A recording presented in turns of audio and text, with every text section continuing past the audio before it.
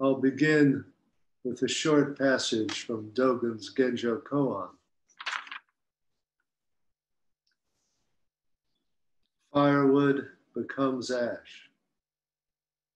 Ash cannot turn back into firewood again.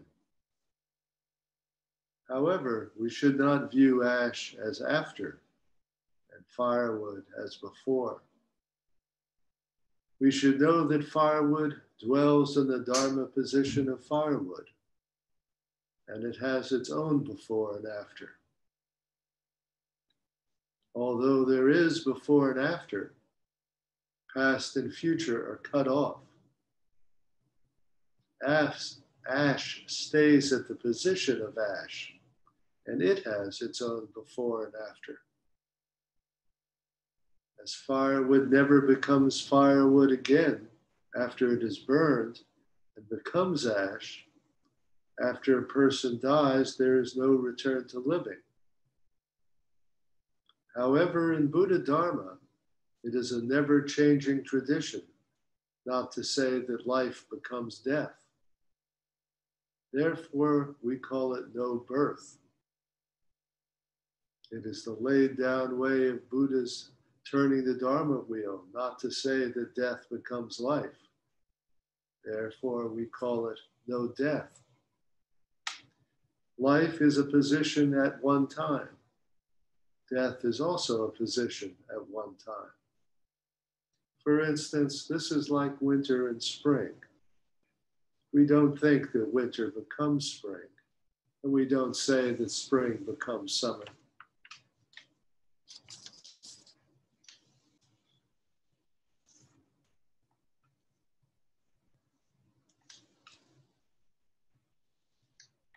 So Dogen starts off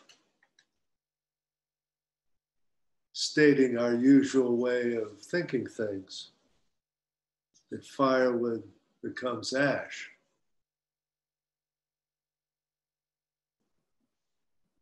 But then he examines this from a perspective of impermanence.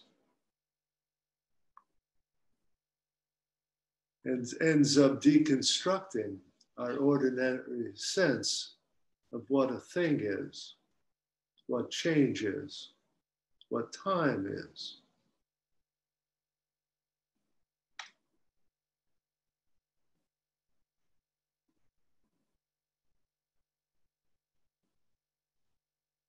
If each so called thing has no unchanging essence, we cannot say that it goes through a sequence of, of time or transformations. There's no ongoing thing to say is changing or developing or progressing.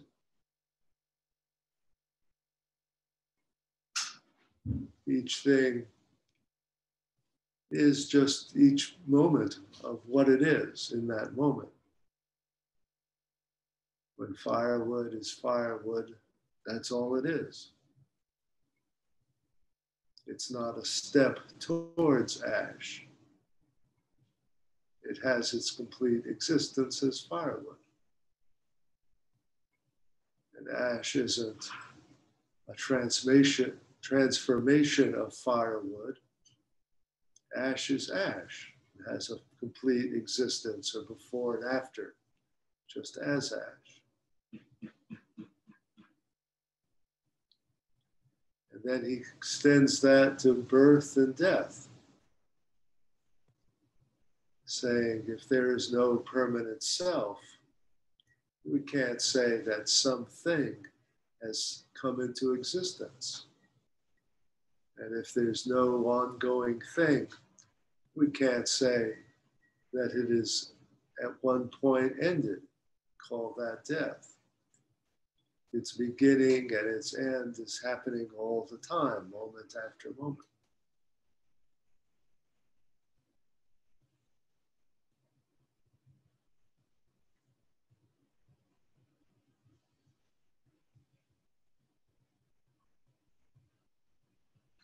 This kind of focus on impermanence not just disrupts our sense of time, our sense of becoming,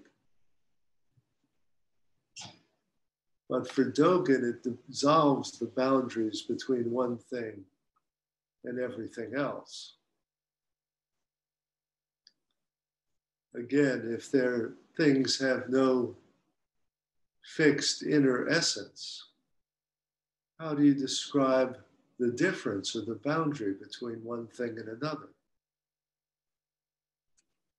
Another passage, Dogen asks us to carefully examine the phenomena of mountains walking. He says we're all familiar with human beings walking, but we ought to understand mountains walking as well. What does that mean?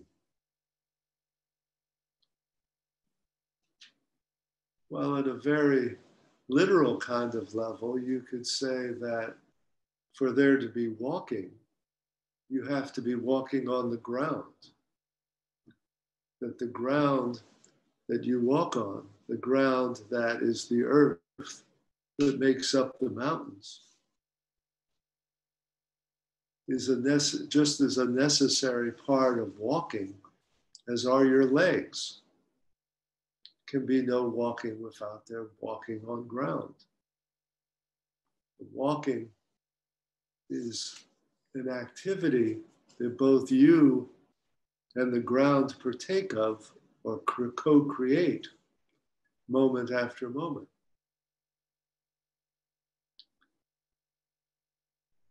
But we wouldn't have to really restrict it to the mountains as the ground on which we, we walk. He could equally have said, the trees are walking. Because again, our walking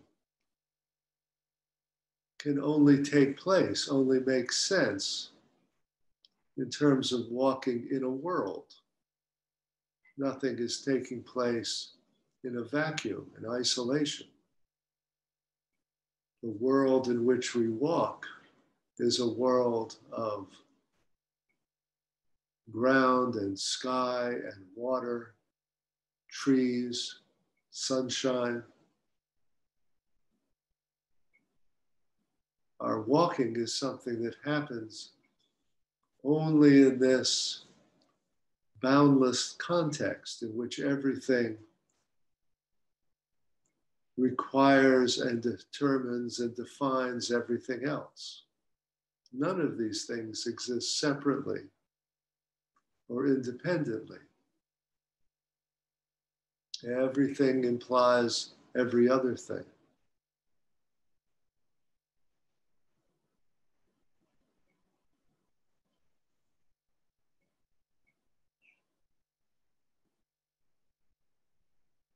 Heidegger has a, an analogous idea and I realize I'm probably in trouble if I think I'm going to make anything simpler by making reference to Heidegger. But he talks about the fourfold disclosure of everything. And he gives an example a water jug. And he says there are four dimensions to this water jug the human, the divine, the earth, and the sky. The human is the way when we see this jug, we immediately recognize it for what it is. We see it as a vessel, a container. We see that it has a handle that we can grasp we see that it is a size and shape and weight that's graspable by us. We understand it as a usable artifact. It's not a inert thing. It's immediately perceived as something that we can make use of as part of our life. The divine we might translate as the realm of meaning. The jug is not simply a physical object that can contain wine or water or milk. It has a place in a whole form of life. And that place, that sense of its place, is not simply its utility, but all the ways it signifies signifies the life of which it's a part? Is it something very rough and simple that goes along with the life of a, a peasant? Is it something for everyday use? Or is it something that's kept up on a shelf for display and taken down only on special occasions? Does it signify our daily meal or is it used in a holiday ritual?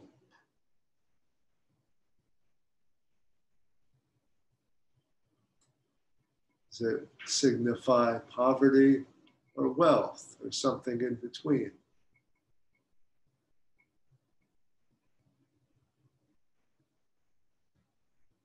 The jug, when it sits in its position, immediately discloses this whole world, this whole form of life around it.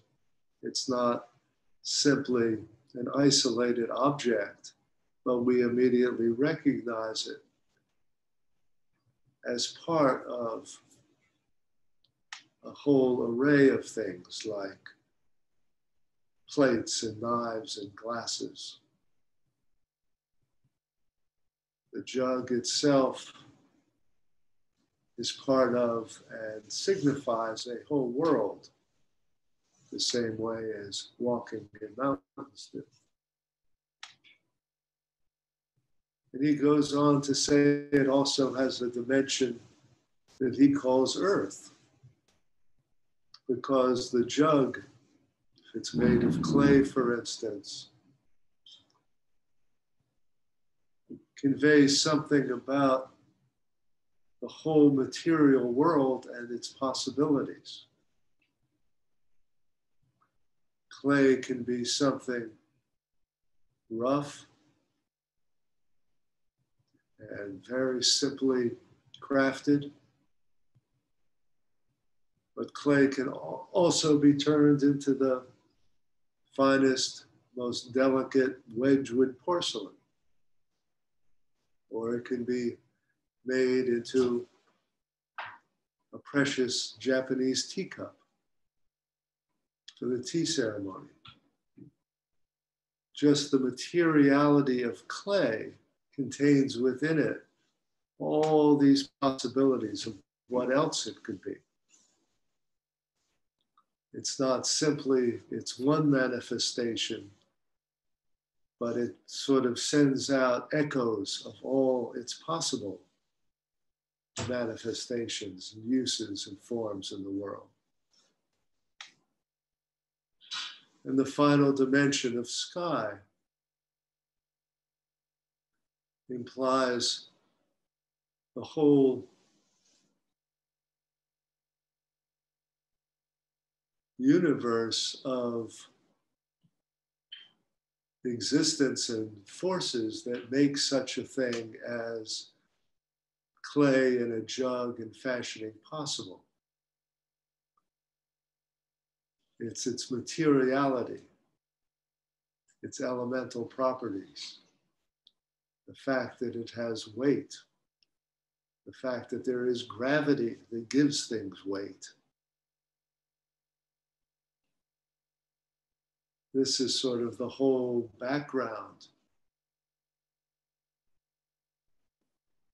of the, the forces that go together to make the world what it is. The whole history, a geology of clay that makes it something that's formed in a way that we can mine it and use it. So, again, what I hear in this kind of fourfold disclosure in Heidegger to me feels like an analogy to what Dogen is trying to say in terms of the walking of mountains.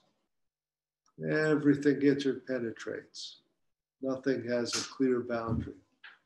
Everything implies the whole world in which it's found.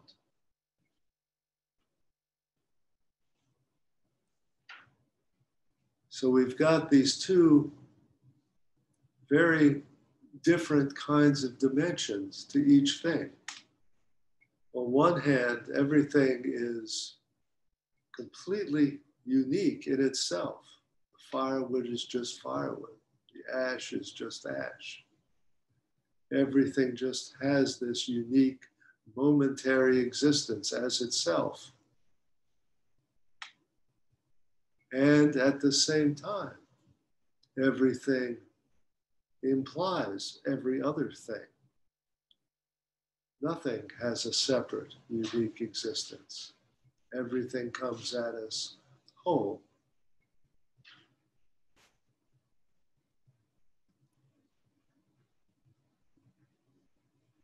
Now, all this may seem to be very abstract and metaphysical, but I think Dogen is trying to, as was Heidegger, to free us from a kind of false narrative of uh, continuity, a false narrative of a certain kind of story of progress.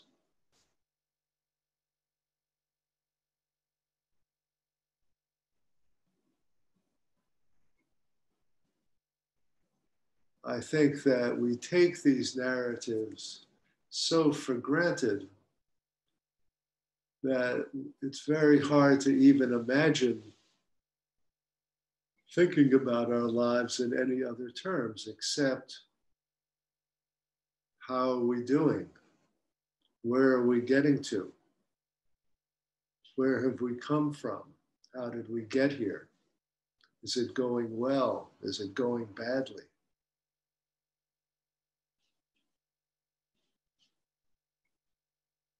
See, we take all these different moments in our life and we not only string them together, we string them together in a way that we think gives them meaning.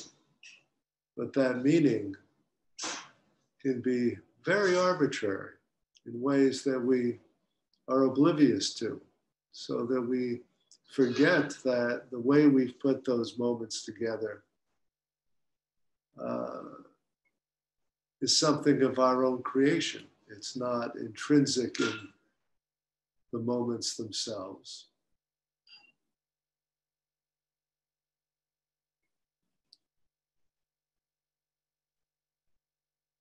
Some of you uh, may have seen a little video not long ago of uh, Mel Weitsman, the teacher at the Berkeley uh, Zen Center who just passed away. Uh, I believe he was about 90 or 91 years old. And in the last months of his life, uh, they made a video of him giving beginner's instruction. And it was very charming uh, to see him teach Zazen and to demonstrate how to sit. And he showed all the different postures, including how to sit in full lotus. It's quite remarkable to see this 90 year old man sitting in full lotus.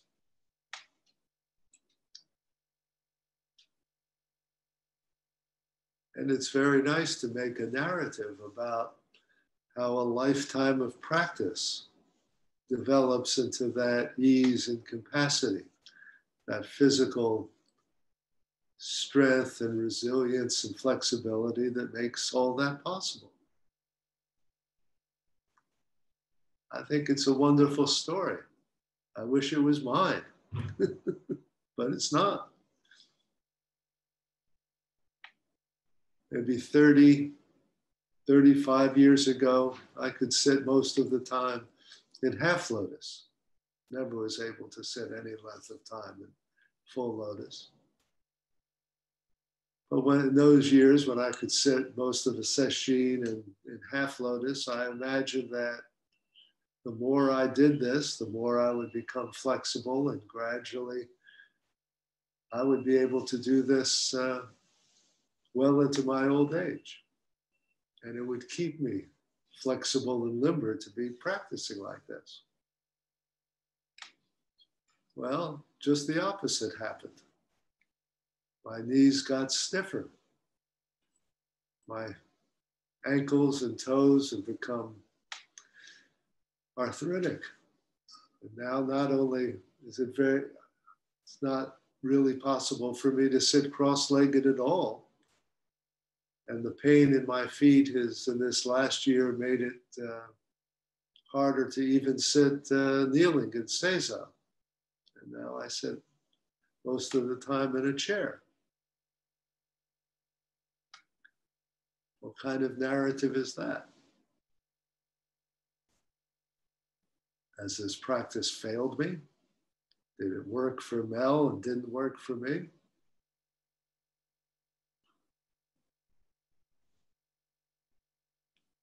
See, I think that my practice now has to be fully occupying the position of sitting in a chair.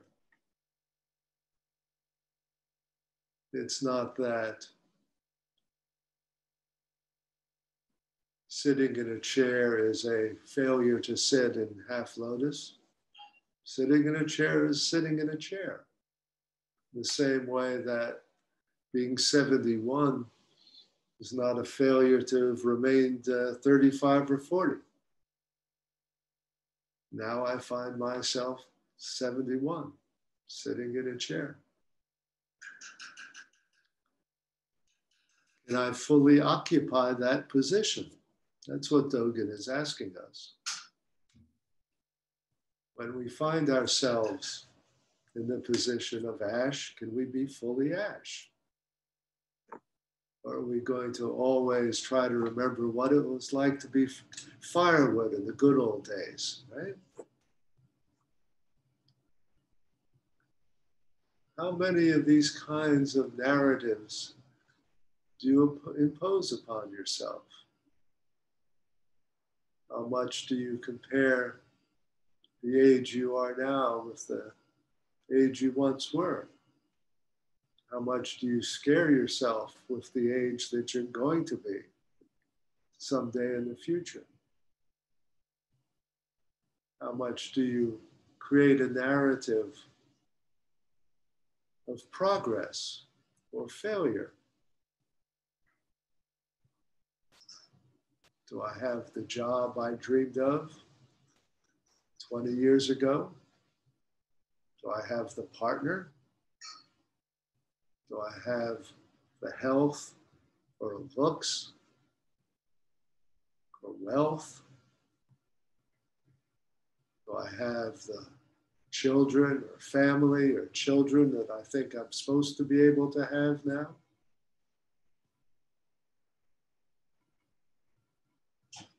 all those things we can we can have a wonderful list of those and they can be like Mel's being able to be in full lotus at uh, at 90 be great to be able to do that. But what if you can't? Is your life a failure? How do you fully occupy the position you actually find yourself in? Without endless comparison without judgment, without a whole story about why it's this way instead of some other way. Dogen and Heidegger are using this very abstract way of talking.